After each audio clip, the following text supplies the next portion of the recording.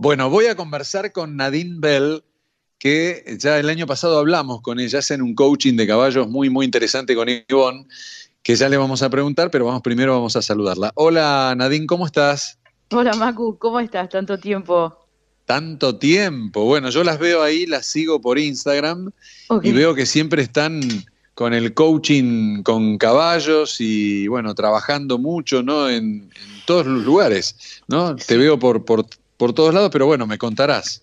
Sí, sí, por suerte estamos, eh, sí, bueno, estamos acá en Buenos Aires y después, bueno, vamos a Córdoba y después, bueno, si nos contratan afuera también.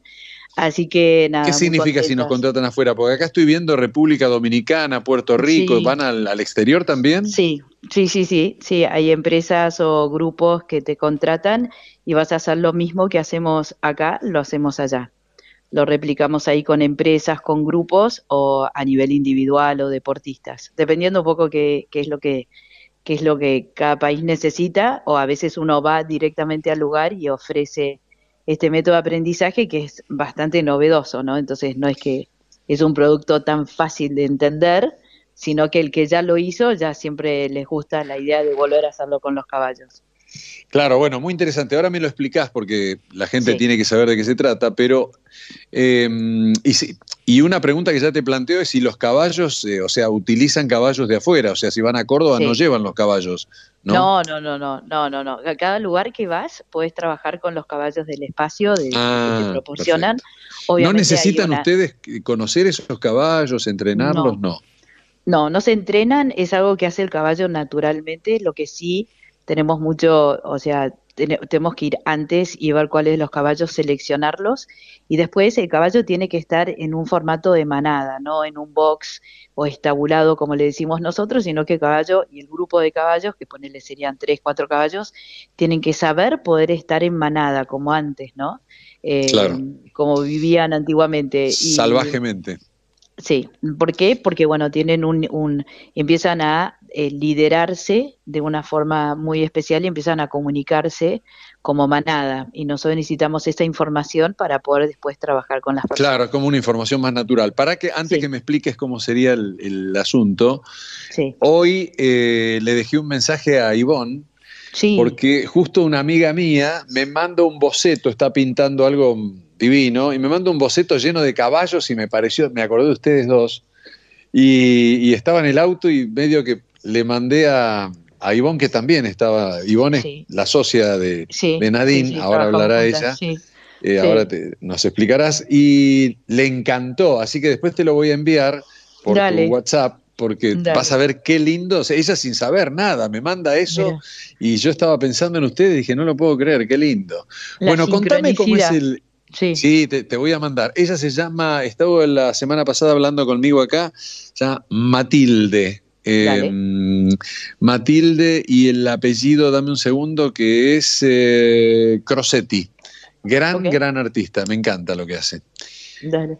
Bueno, contame el, coaching, contale a la gente el coaching con caballos. Yo tuve la oportunidad en Luján, me invitaste a ir un día, a mí me encantó, no hace un año, y eh, me pareció una experiencia buenísima. Y aparte toda, ¿no? Todo el conjunto de actividad que se hace con el grupo y todo me pareció muy bueno.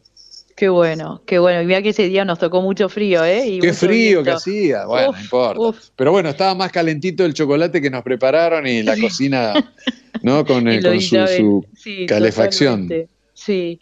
Bueno, coaching con caballos es un método de aprendizaje, ¿sí? En realidad vos vas a venir y estar, vas a estar con un grupo de caballos sueltos en un corral eh, o en un espacio abierto y la idea es interactuar con los caballos. ¿Qué significa interactuar? Nada, estar con ellos.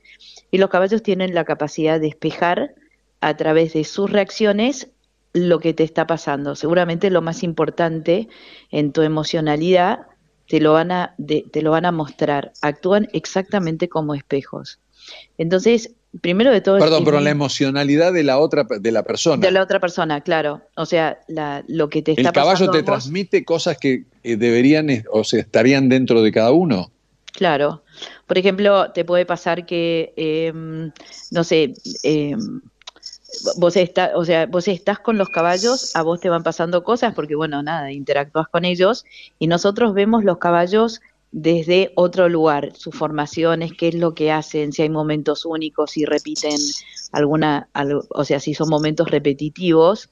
Y siempre el caballo va a espejar lo que te está pasando a vos. O sea, tal vez eh, tenés un, no sé, un momento en tu vida que sentís que todo te está dando la espalda. Bueno, cuando vos entras a ese corral, los cuatro caballos te van a dar el anca. Entonces yo te voy a preguntar, obviamente sin saber qué es lo que te está pasando, ¿por qué pensás que los caballos cuando entraste se dieron vuelta y te dan la espalda? Me dice, no, porque esto es lo que me está pasando. Esto es un caso... O sea, Para, eh, es genial lo que contás, pero ¿y cómo, el, cómo entendemos que el caballo ya supo eso? Bueno, ¿cómo sabe el caballo cómo interpretarnos? No tengo ni idea porque no soy caballo. Sí, tenemos un montón pero qué locura, ¿no? Porque ¿cómo lo explicas a eso? No, no, yo, a mí me encanta no saberlo, me encanta que pase, es vivir en una película de Netflix todo el tiempo, porque todo el tiempo estás viendo cómo el caballo espeja, y no solamente como espeja, sino que te lo va a mostrar hasta que vos, como coach, haces la pregunta. Constantemente el caballo te espeja lo que esta persona le está pasando. Cuando vos haces la pregunta y ya está, entonces el caballo lo deja hacer. Por ejemplo, pues, por ejemplo, nosotros trabajamos con, con caballos, no sé, no sé, eh, vino una señora hace mucho tiempo y, y, y, llegó y habían cuatro caballos y se acercó a cada uno de ellos y a medida que se acercaban los caballos, los, los tocaba el caballo, el caballo se echaba al piso y me mostraba a mí muerte. Muerte es la, el caballo dejaba la boca abierta y con la cola dejaba el ano abierto, que es el proceso que tiene el caballo después para la descomposición una vez que se muere, ¿sí? No es que mi caballo se murió, no, pero me estaba mostrando muerte. Se fue al segundo caballo, el caballo hizo lo mismo. Fue al tercer caballo, tercer caballo también se tiró al piso y dejó la boca eh, abierta mostrando muerte. Y al cuarto caballo también.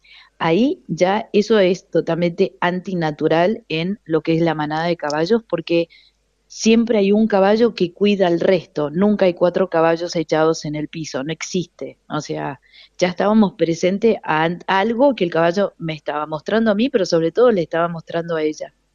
Entonces cuando vuelve le digo, ¿y cómo te fue? Y ella me dice, y nadie parece que se te murieron los caballos. Ella usa la palabra muerte. Entonces le pregunto yo, ¿en tu vida hay algo que se, no sé, que tenga que ver con, con la muerte? me dijo que su papá se había muerto hace un tiempo, pero que ella en realidad no venía por el tema de la muerte del papá, sino que ella venía porque quería encontrar un novio y que no sabía por qué no podía encontrar un novio. Y yo le pregunto, ¿en qué trabajas? En una funeraria. Wow. Wow. Qué, impresionante. Desde ahí ella claramente ella quería tener su novio, pero en realidad lo que teníamos que trabajar desde ahí era la creencia limitante que tenía ella porque su papá le había dicho, vos nunca vendas la funeraria, solamente te podés dedicar a esto. Y ella lo que sentía que se estaba muriendo en vida porque a ella la funeraria no le gustaba y no se sentía bien. Entonces, bueno, a través de los caballos pudo romper esa creencia limitante y empezar un emprendimiento que era de ella. Espectacular. Te hago esta pregunta. ¿Cómo Ivonne y vos empezaron con esto? ¿Qué, qué, tipo de estudios? ¿Cómo, ¿Cómo te acercaste a, este, a esta actividad? Ok, en realidad yo empecé siendo toda la vida a caballo y soy equinoterapeuta. De, al principio, cuando acá en la Argentina casi no había, y Em, empezamos a, empecé a armar varios Explícanos de equinoterapeutic, eh, equinoterapia es la rehabilitación de personas con capacidades diferentes con los caballos. Esto es discapacidad. Cuando empecé a ver, cuando empecé a trabajar con, con, chicos con discapacidad, empecé a ver que los caballos, ahí una vez más el caballo empieza a hacer algo que vos decís, pará, pero ¿cómo es esto? ¿Cómo puede ser que el caballo entienda a este chico?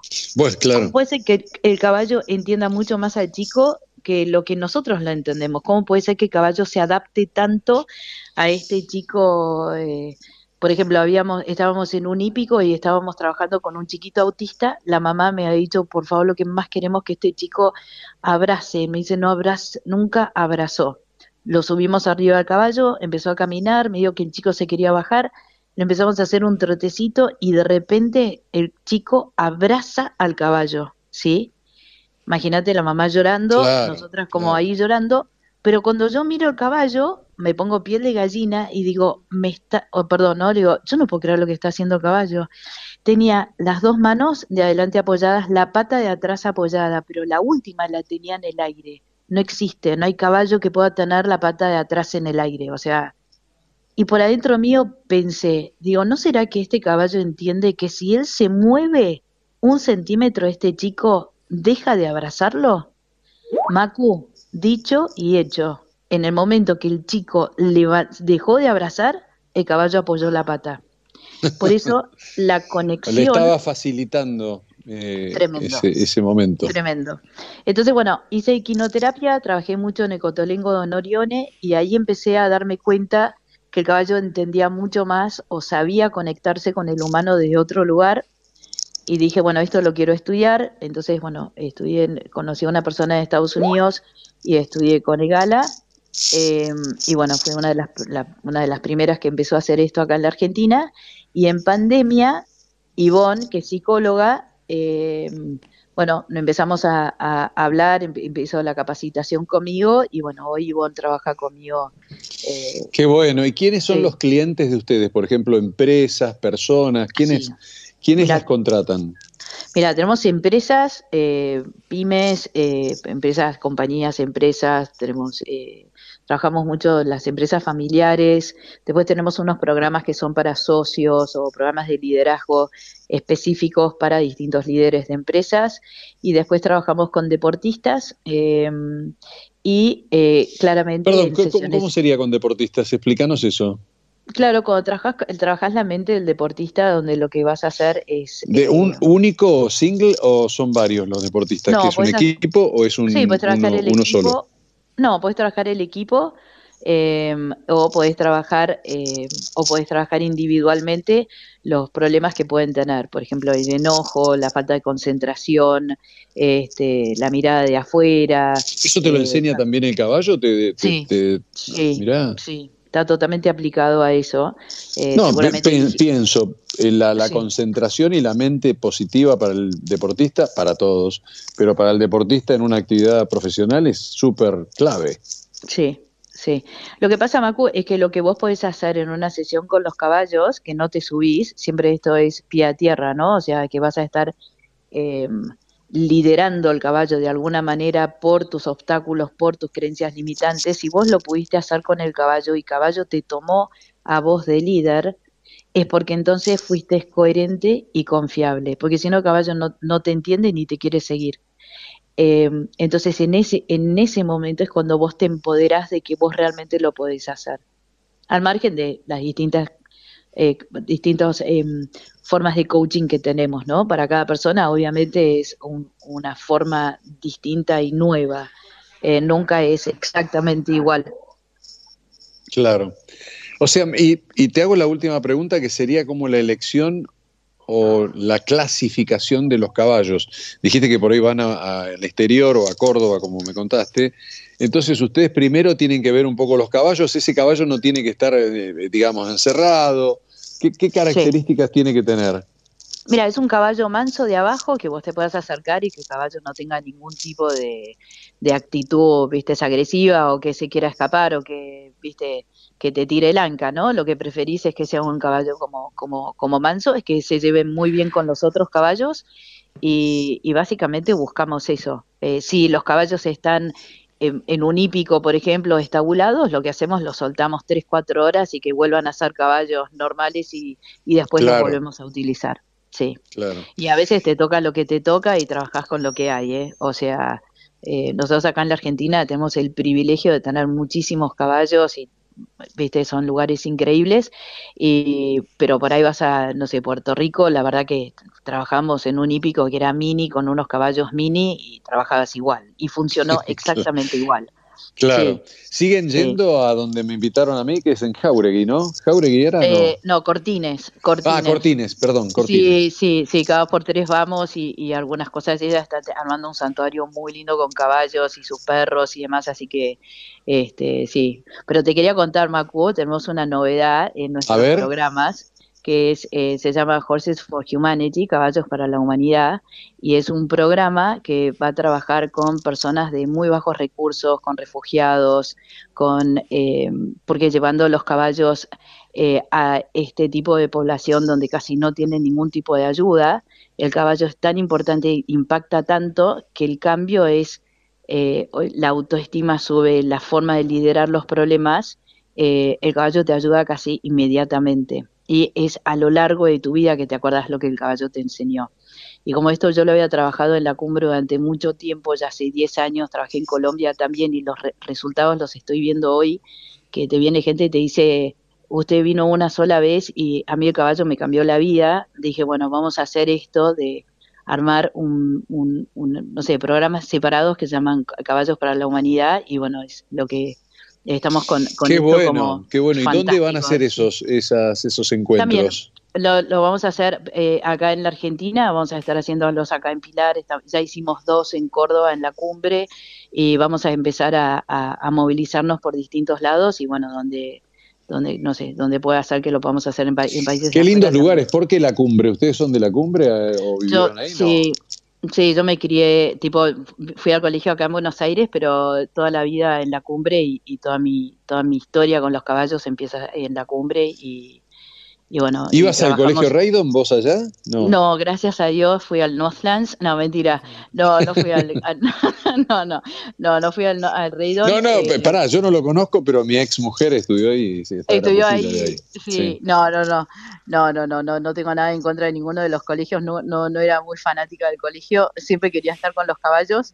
Eh, pero bueno, ahí en la cumbre, por ejemplo, trabajamos con, ahora fuimos con Ivonne y con dos de las coaches también, el grupete, y nos fuimos a trabajar con un, un hogar Betel, que son 12 chicos judicializados, que fue impresionante el trabajo, y después trabajamos con un, una ONG, que son los chiquitos de Creciendo en la Cumbre, así que bueno, esa es la idea, es empezar a... a Mirá qué bueno, eh, yo en el, eh, cuando en Cortines me invitaron, conocí una chica que tiene de caballos ok, una cosa así, que son de ahí de Mercedes, buenísima. Sí, es un amor, es un amor. Es muy, sí, no me acuerdo ahora el nombre, pero es muy, muy capa con los caballos. Sí.